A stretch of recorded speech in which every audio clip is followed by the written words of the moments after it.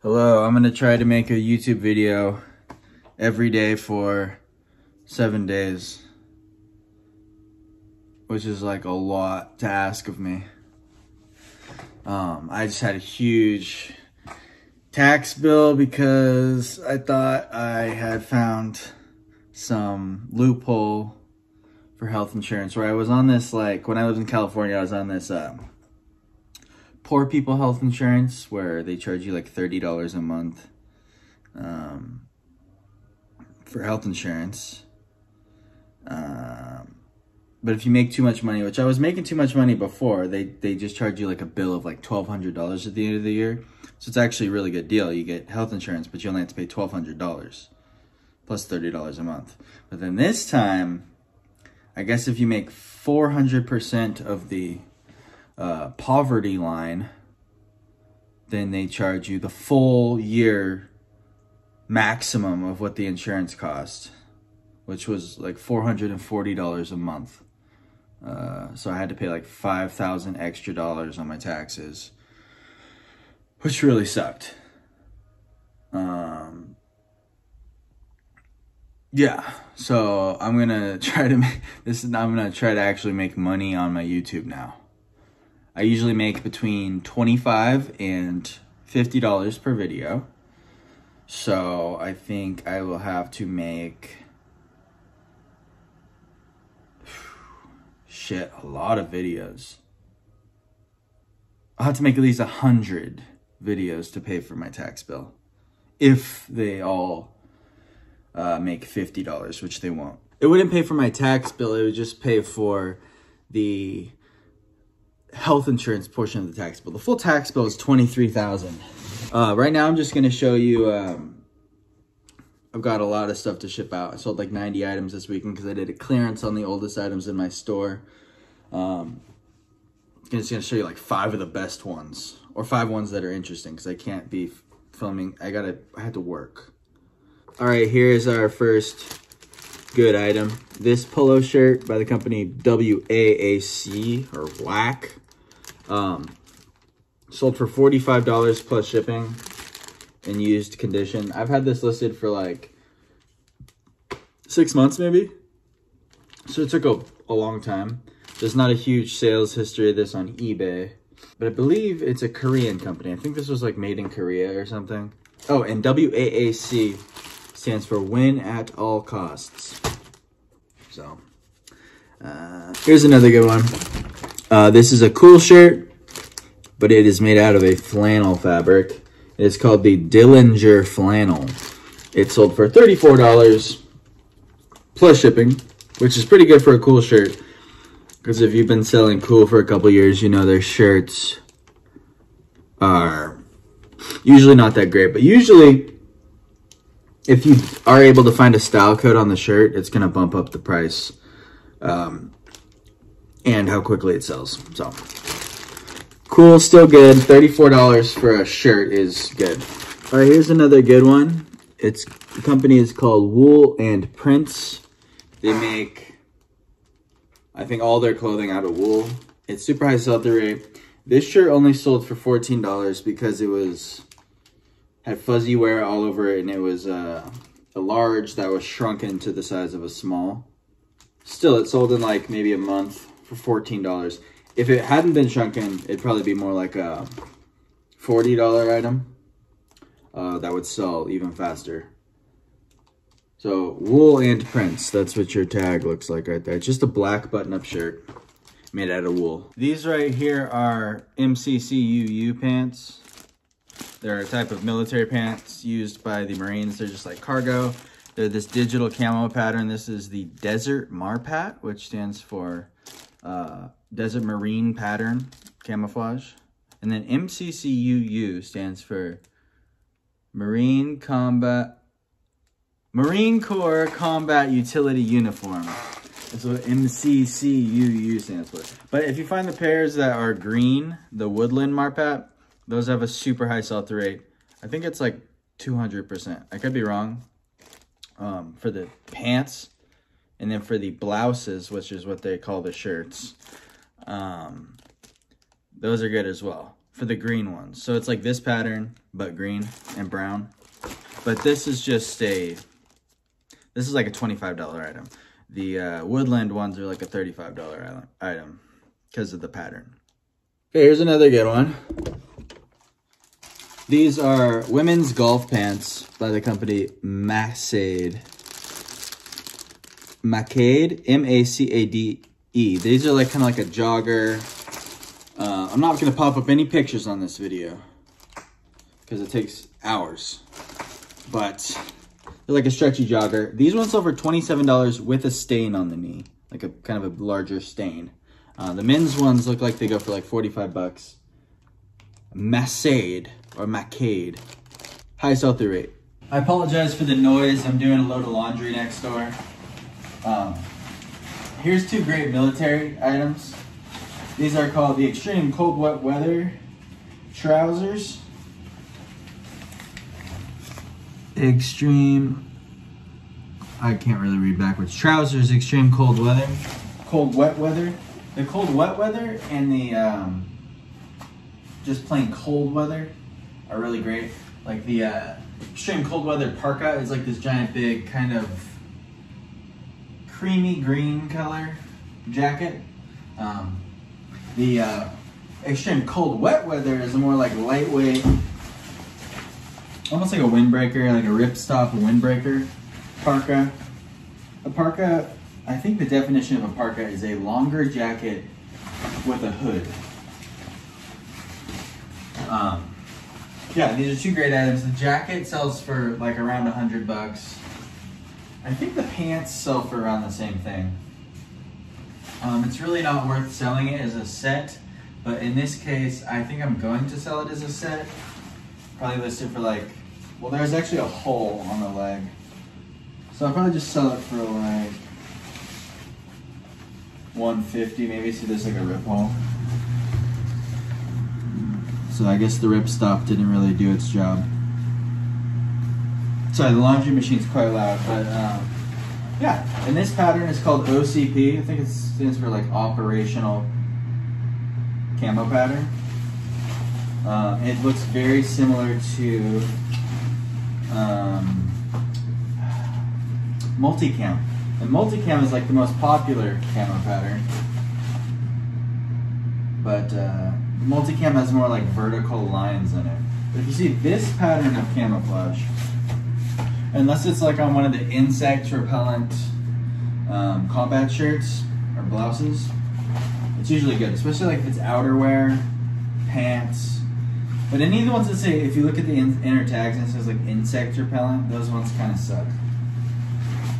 Yeah, but these are two good items. If I could do my whole store just uh, military surplus and vintage Levi's, that would be super cool. I'm gonna hit a bunch of savers. I'm at savers right now.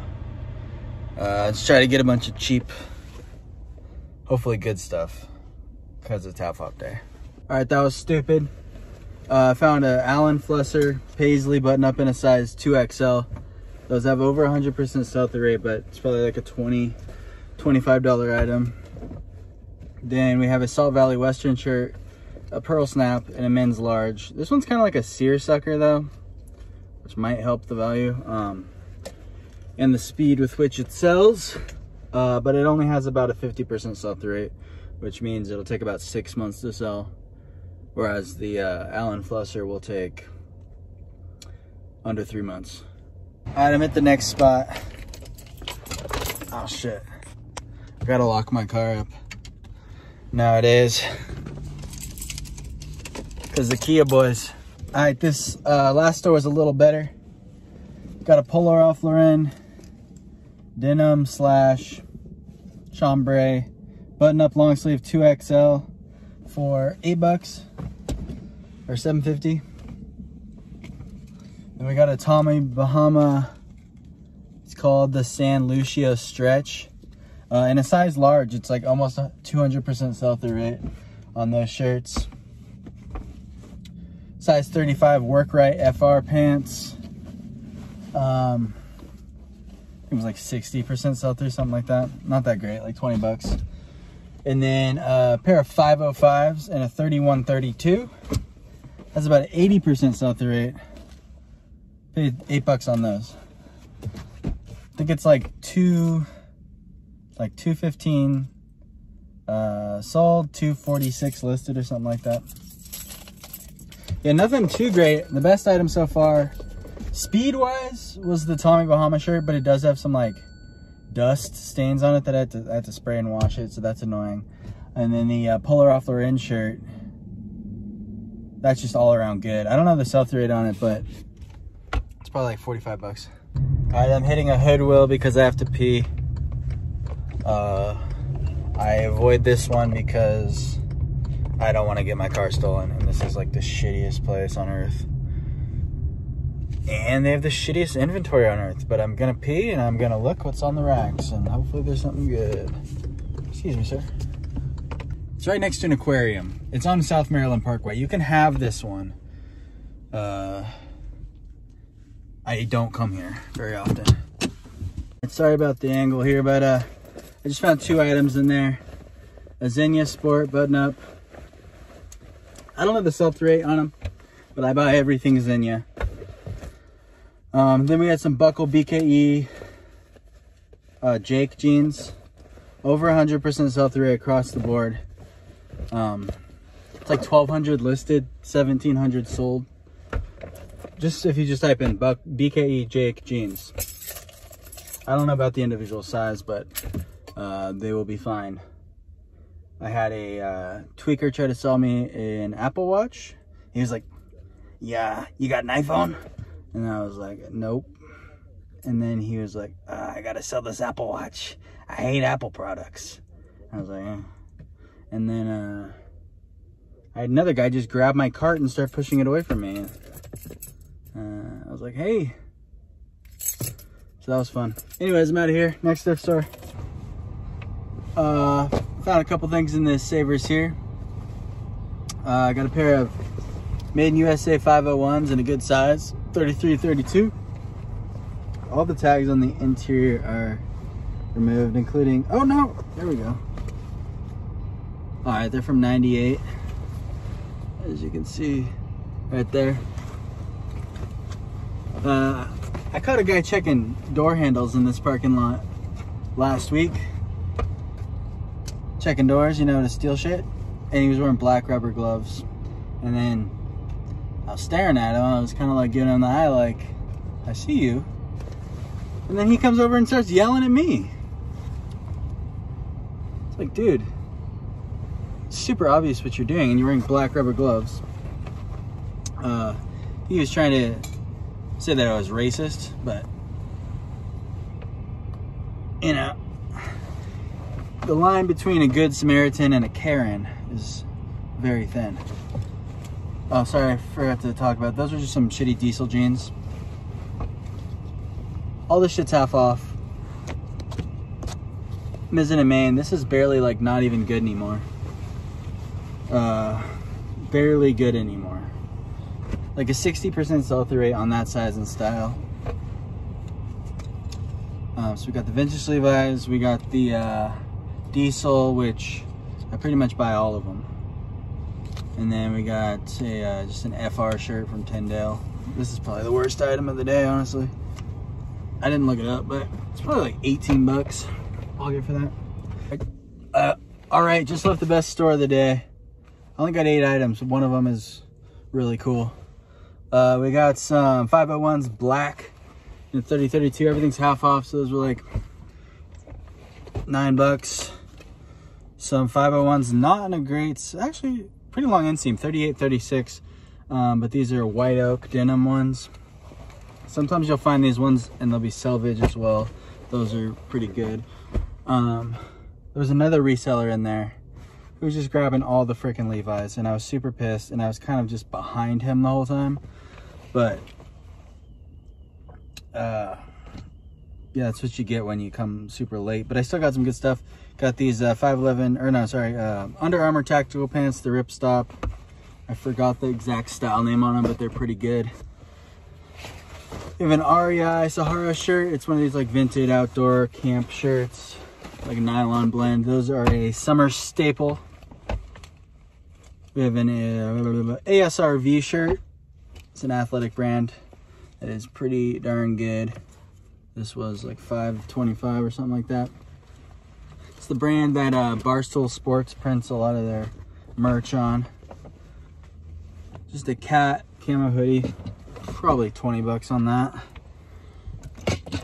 Um, this was the best item of the day. It is a vintage Patagonia fleece. I think like circa 1980s. Now this is, it was only priced at $9.99 and a half off of that. But I think the store thought it was fake and their conscience made them price it cheaper. But because look, the stitching is kind of wonky. Um, it just looks kind of cheap. And I saw it and I immediately knew. I've seen that fleece before on uh, vintage Instagram pages. It's got the contrast uh, cuff and waistband. Unfortunately, the tag is cut out of the neck, uh, which is another sketchy thing about it. But on the inside, we have super old material style tag. Made in USA. And it's got the style number, the cut number on there. Yeah, it's just really nice. I'm really happy about it. So, probably just be keeping this one. And it's like a freaking size XL. It's big, which is awesome for super old clothing. I think it's probably like, if I just had to guess, like mid 80s. I, I messaged a guy while I was in there who, um, on eBay who has the same one in his store and all he sells is vintage Patagonia. He has it for 200. I asked him if he knows the decade on it. Just a uh, Levi's Pearl Snap shirt. I don't know why the Levi's guys didn't grab that. But yeah, that was me going after everybody. That Patagonia is real good. Because a lot of times on the really old stuff, like that shit is like made in a garage. You know? So it looks cheap. But I don't think it's a 70s. It was a seven. There's these fleece out ones. It's um, I think it's called reverse pile, where the where uh, sorry, it's not fleece out. The fleece, like you know, on the modern, shut up. Uh, the modern Patagonia, the fleece is like out, and then that ugly part's on the inside. On these ones, the ugly part's on the outside, and the like Sherpa fleece is on the inside. And those, that's what I really, really want to find. Um, yeah. Anyways, on to the next store. I might film or I might not. I got it. All right, last store was super weak.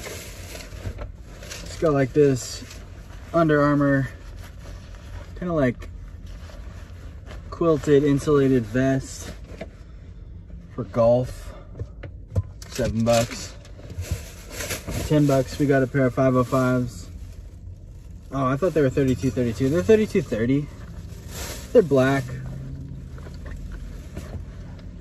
So they'll go for like 28 bucks maybe. And that is uh, all we got for today. I will see you tomorrow.